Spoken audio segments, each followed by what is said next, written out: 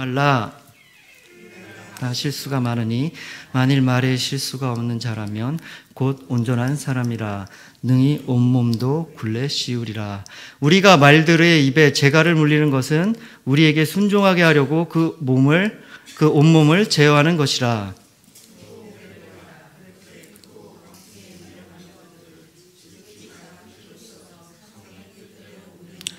이와 같이 혀도 작은 지체로 돼 큰 것을 자랑하도다. 보라, 얼마나 작은 불이 얼마나 많은 나무를 태우는가. 혀는 곧불이여 불이의 세계라. 혀는 우리 지체 중에서 온몸을 더럽히고 삶의 수레바퀴를 불사르나니 그 사르는 것이 지옥불에서 나느니라. 여러 종류의 짐승과 새와 벌레와 바다의 생물들은 사람 다 사람이 길들일 수 있고 길들여 왔거니와 하는 등이 길들일 사람이 없나니 쉬지 아니하냐요 죽이는 독이 가득한 것이라 이것으로 우리 주 아버지를 찬송하고 또 이것으로 하나님의 형상대로 지음을 받은 사람을 저주하나니 한 입으로 찬송과 저주가 나오는도다 내 형제들아 이것이 마땅하지 아니하니라 샘이 한 구멍으로 어찌 단물과 쓴물을 내겠느냐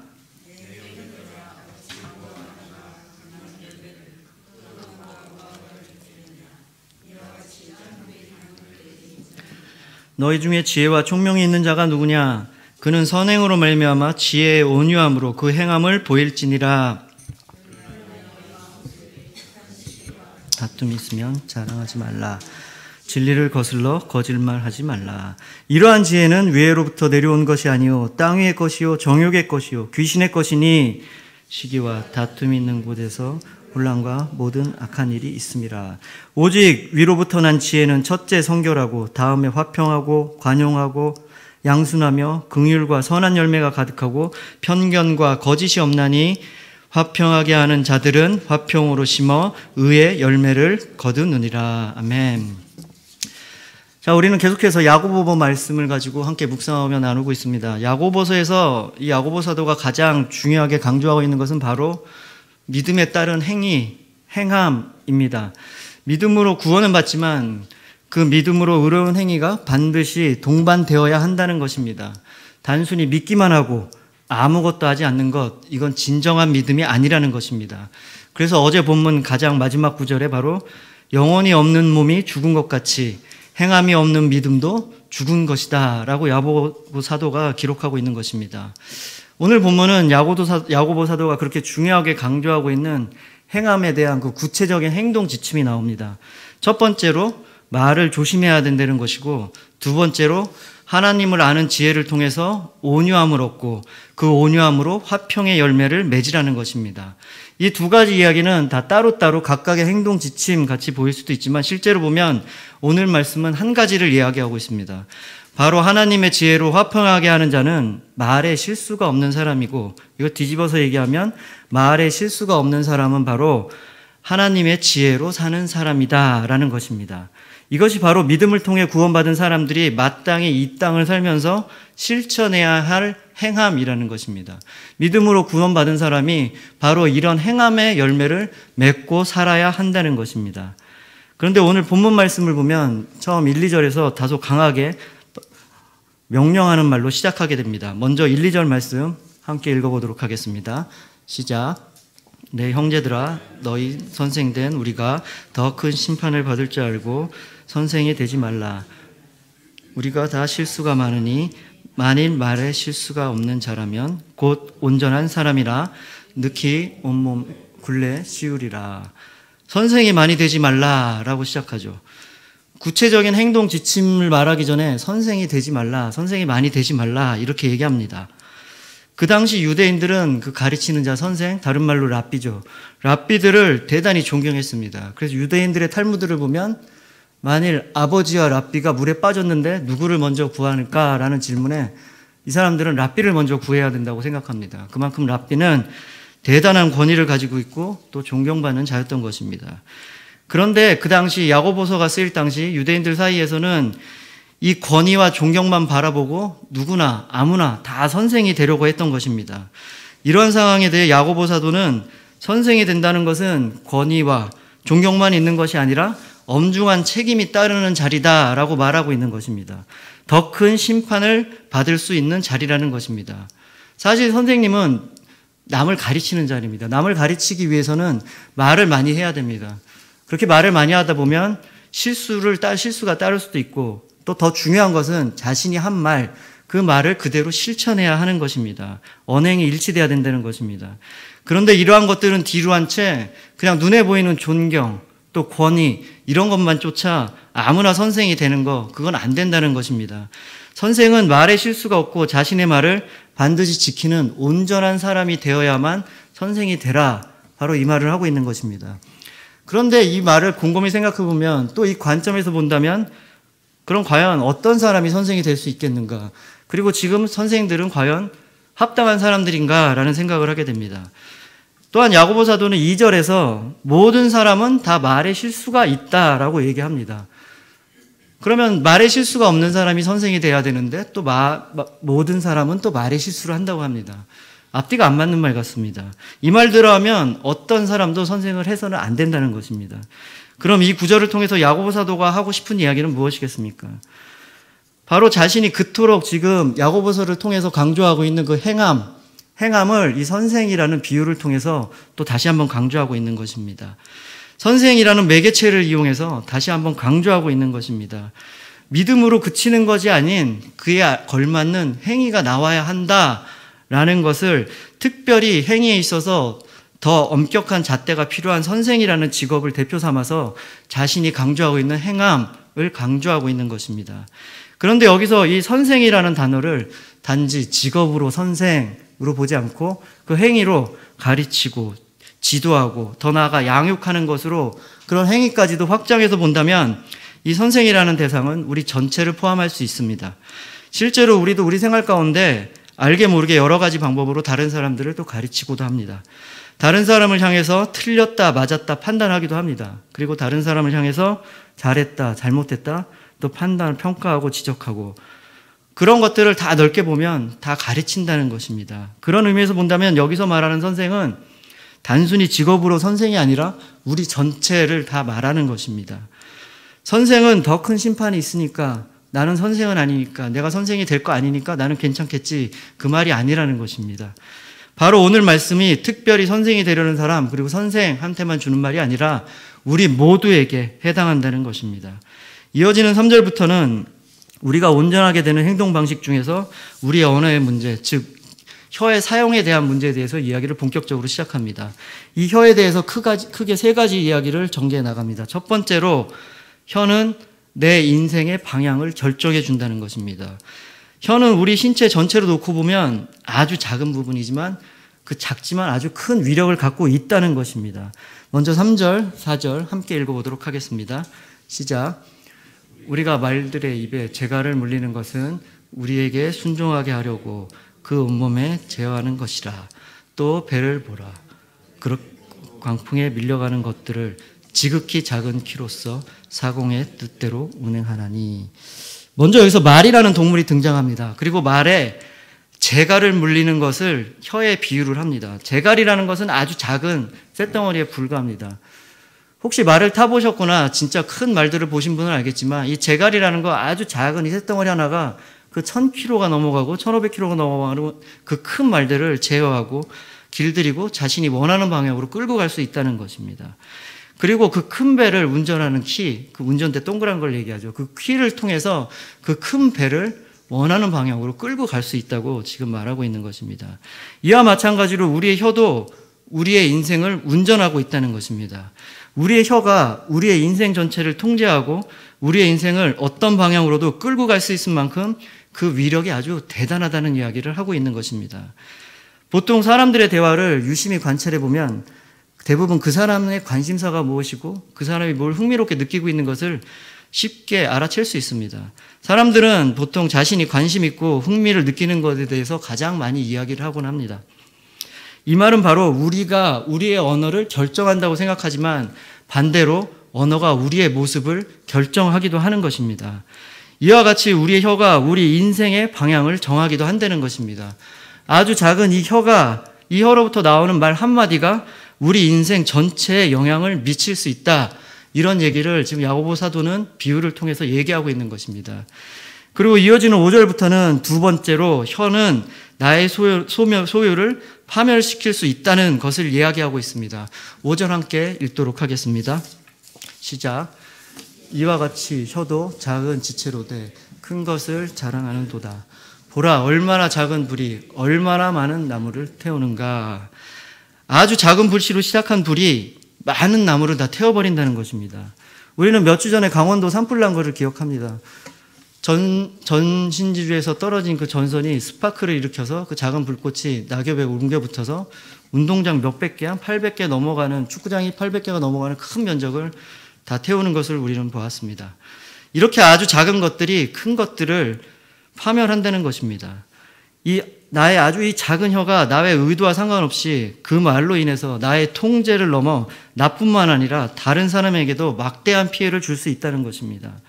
이렇게 우리의 몸의 기관 중에 어느, 한, 어느 하나 중요하지 않은 것이 없지만 아주 작은 혀가 나를 죽이기도 하고 살리기도 하고 또한 나뿐만 아니라 다른 사람을 살리기도 하고 또한 죽이기도 한다는 것입니다.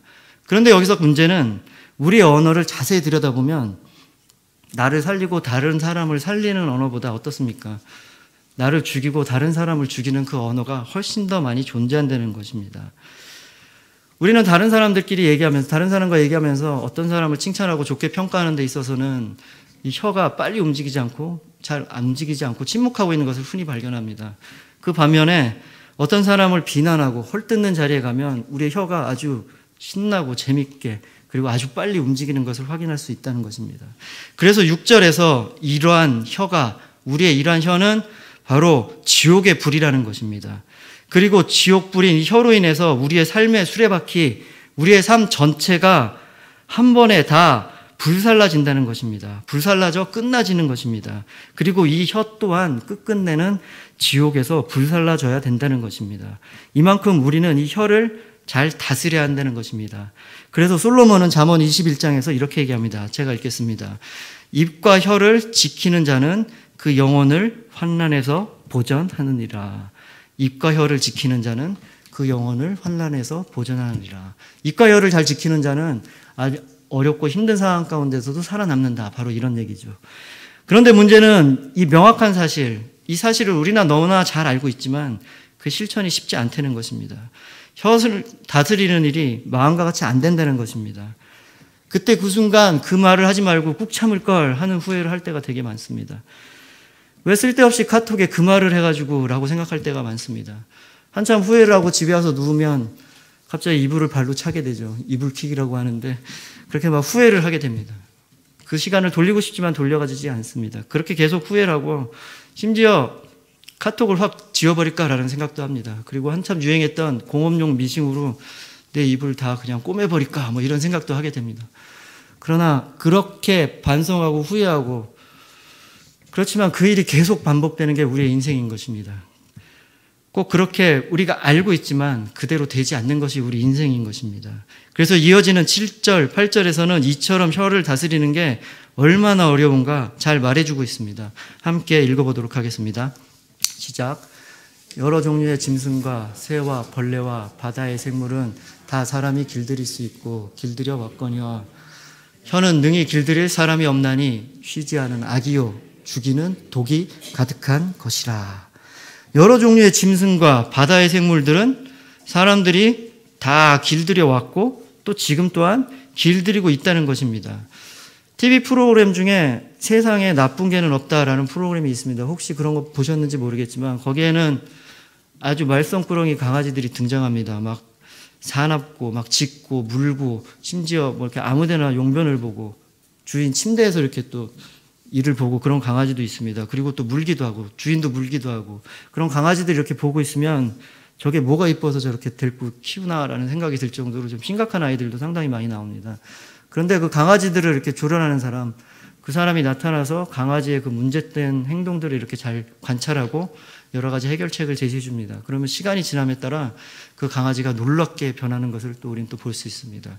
그리고 지금은 무슨 동물 학대, 동물 논란 때문에 많이 없어졌지만 예전에 서커스 같은 데 가보면 호랑이고 사자고 곰이고 원숭이고 심지어 코끼리까지 그 조련사의 말에 따라 말을 잘 듣는 것을 볼 수 있습니다. 참 재밌고 신기했었는데 요즘엔 그런 것을 볼 수 없어 좀 안타깝기도 합니다.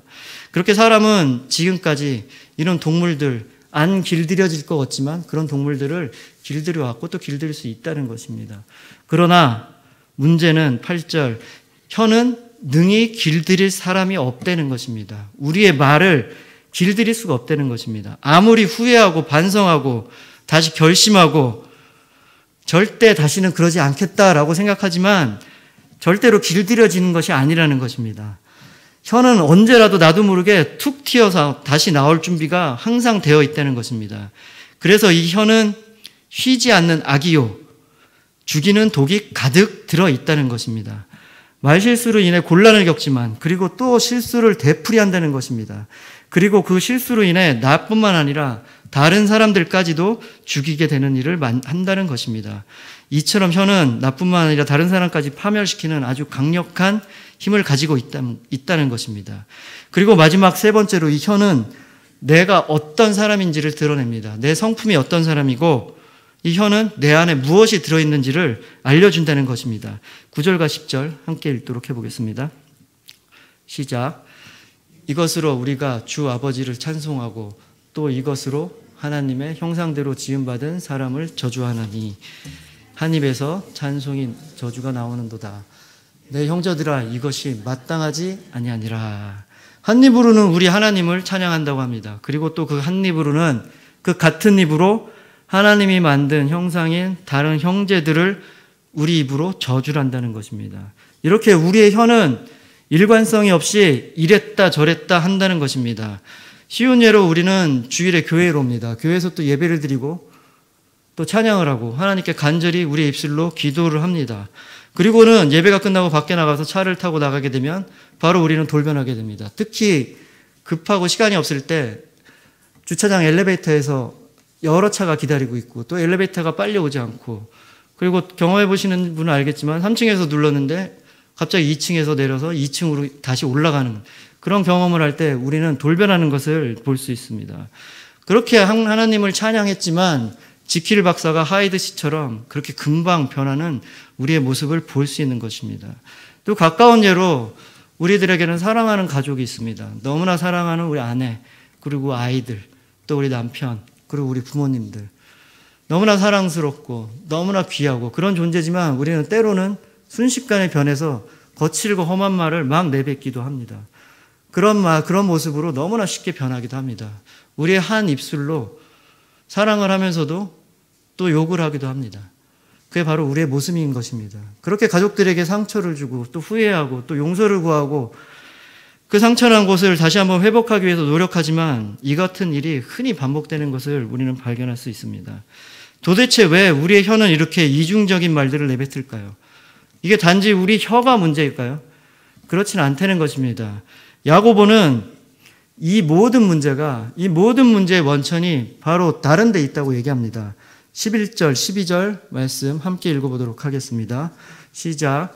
셈이 한 구멍으로 어찌 단물과 쓴물을 내겠느냐? 내 형제들아, 어찌 무화과 감남 열매를 포도나무가 무화과를 맺겠느냐? 이와 같이 짠물이 단물을 내지 못하느니라. 야고보 사도는 우리 혀가 왜 이러는지 그 근본 원인을 보라고 지금 말하고 있는 것입니다. 샘이 어떻게 한 구멍에서 단물과 짠물을 동시에 낼 수 있겠느냐? 어떻게 무화과 나무가 감남 열매를 내겠느냐? 사과나무에서 배가 열리지 않는다는 얘기죠. 한마디로 샘은 그 안에 어떤 물, 단물이 있던지 쓴물이 있던지 그 담겨 있는 그 물을 낸다는 것입니다. 그리고 나무는 그 나무가 어떤 나무이진 간에 그 나무에 열매를 낸다는 것입니다. 바로 우리의 혀는 우리 안에 있는 혀가 우리 안에 있는 모든 것, 우리의 성품, 우리의 인격 이런 것들을 자연히 드러낸다는 것입니다. 그럼 우리의 마음, 혀가 드러내는 우리 마음, 이 마음 안에 무엇이 있어야 되겠습니까? 우리 안에 어떤 것이 있어야지 그것을 혀가 분명하게 자연스럽게 그것을 내놓을 수 있겠습니까? 바로 우리 안에 무엇을 채워야 하는지 야고보 사도는 13절에서 얘기하고 있습니다. 13절을 보면 너희 중에 지혜와 총명한 자가 있느냐라고 물어봅니다. 바로 지혜와 총명이 있어야 한다는 것을 말하고 있습니다. 그리고 그 지혜의 온유함으로 행함을 보이라고 얘기하고 있습니다. 여기서 말하는 지혜, 호크만은 바로 하나님을 아는 지혜입니다. 하나님께서 주시는 지혜입니다. 바로 이 지혜는 그리고 온유하다는 것입니다. 온유하다는 것은 바로 나의 고집을 꺾고 하나님께 순종한다는 것입니다. 하나님으로부터 온 이 지혜는 내 고집대로 하지 않고 내 고집대로 혈기를 부리거나 오만하거나 자랑하지 않는다는 것입니다. 우리의 마음에 바로 이러한 하나님께서 주신 지혜를 채워 넣어야 하는 것입니다. 그래서 우리 혀를 통해서 자연스럽게 이런 하나님이 주신 지혜를 내보내야 된다는 것입니다. 그런데 문제는 이어지는 14절을 보면 하나님이 주시는 지혜가 아니라 세상에 주는 지혜가 있고 그런 것들이 우리 안에 차져 있다는 것입니다. 14절 말씀 함께 읽도록 하겠습니다. 시작. 그러나 너희 마음속에 독한 시기와 다툼이 있으면 자랑하지 말라. 진리를 거슬러 거짓말하지 말라.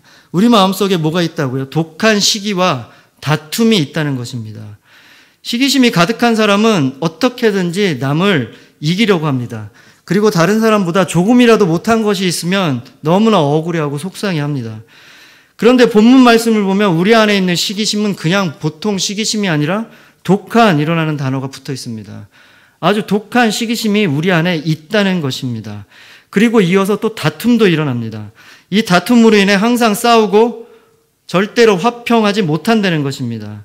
이러한 심각한 것들이 분명히 우리 안에 존재한다는 것입니다.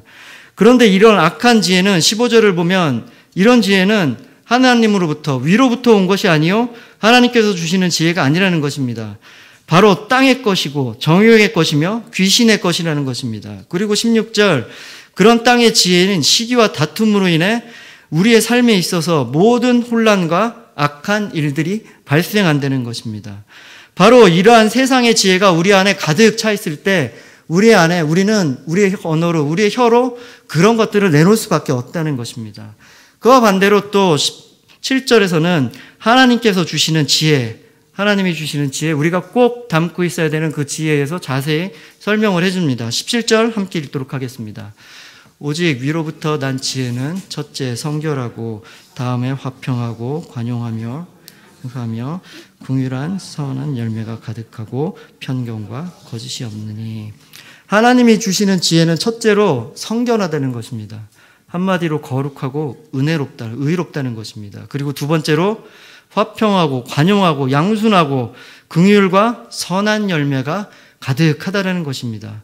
여기서 나온 것들은 한마디로 말하면 사랑인 것입니다. 하나님이 주시는 지혜는 사랑이 가득하다는 것입니다. 그리고 세 번째로 편견과 거짓이 없다는 것입니다. 공정하고 진실하다는 것입니다.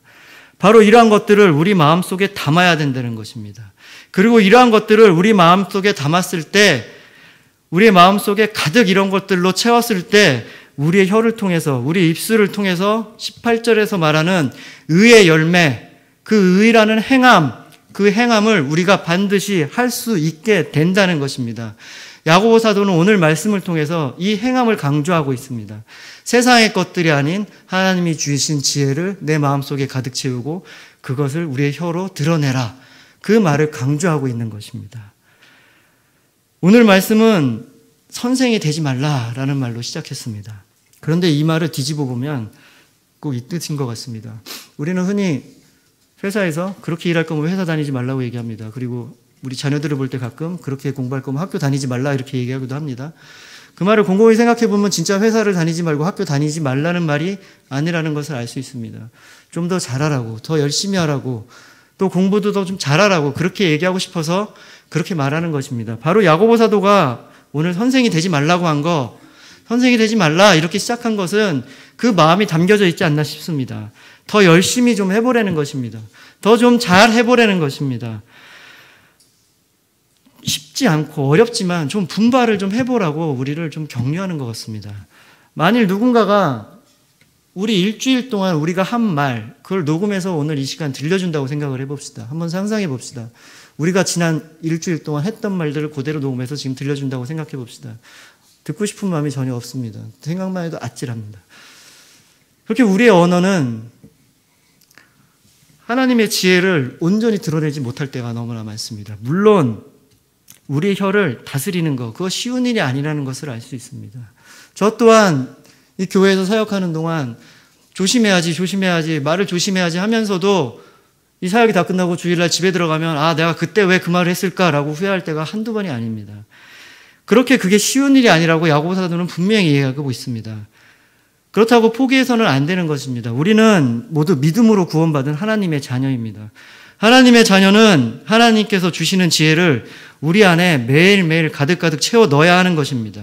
그리고 그렇게 살면서 우리의 혀를 다스리는 온전한 사람이 되어야 하는 것입니다.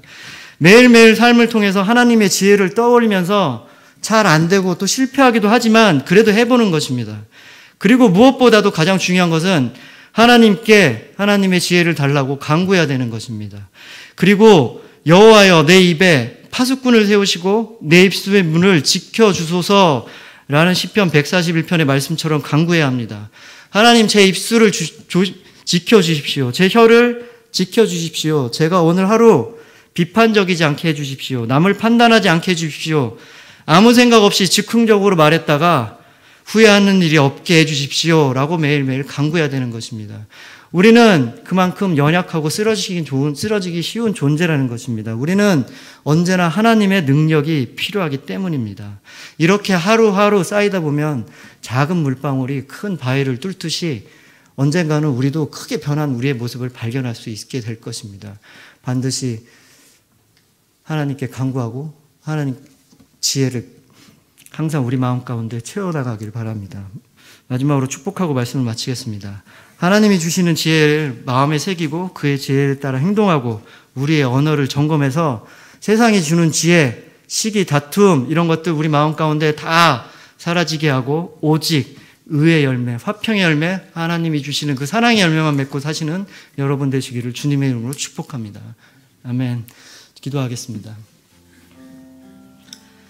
하나님 아버지 감사합니다. 주님, 주님께서는 우리 믿음을 보시고 우리 믿음으로 인해서 우리를 구원하셨습니다. 그러나 야고보 사도는 오늘 이 야고보서를 통해서 그 믿음만으로 끝나는 것이 아니다. 그 믿음에는 합당한 열매가 있어야 된다고 말하고 있습니다.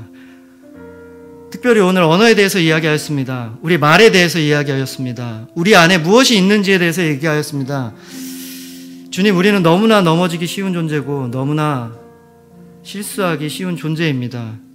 그런 우리를 고백합니다. 주님, 우리에게 항상 함께해 주시고 지혜 주시고 우리의 간구를 들어주셔서 우리의 입술을 조심하고 항상 다른 사람을 축복하고 항상 열매를 맺는 삶을 살 수 있도록 축복하여 주시옵소서.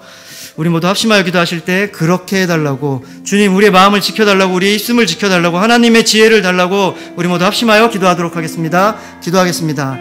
하나님 아버지 그렇습니다. 주님 우리는 너무나 연약하고 쓰러지기 쉬운 존재입니다. 주님 그럼에도 불구하고 주님께서 우리를 사랑하시고 우리를 함께 하시고 우리를 구원하시길 원하십니다. 주님 우리의 간교를 들어주시옵소서 우리의 마음을 받아주시옵소서 우리와 함께하여 주시옵소서 그래서 항상 우리 하루의 삶을 통해서 우리의 입술을 지켜주시옵소서 남을 비난하고 비방하는 말을 하지 않고 다른 사람을 세워주고 다른 사람을 칭찬하고 선한 하나님의 사랑만이 온전히 드러나는 입술이 되게 하여 주시옵소서 그런 삶을 통해서 하나님께서 원하시는 그 삶, 의의 열매, 선한 화평의 열매를 맺는 저희 될 수 있도록 주님 축복하여 주시고 이 시간 함께하여 주시고 언제나 함께하여 주시옵소서. 비록 넘어지고 쓰러질 때 있습니다.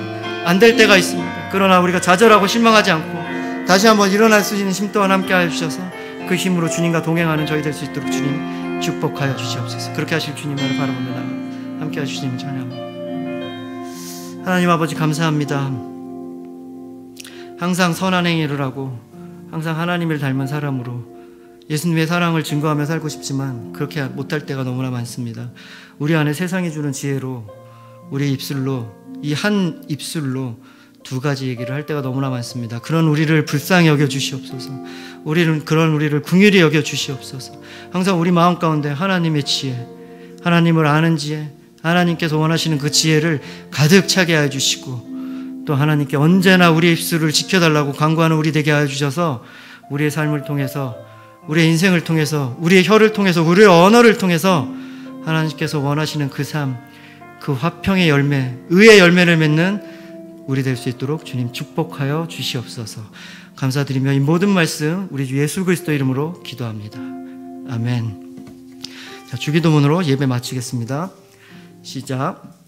하늘에 계신 우리 아버지여 이름이 거룩히 여김을 받으시오며 나라가 임하옵시며 뜻이 하늘에서 이루어진 것 같이 땅에서도 이루어지이다.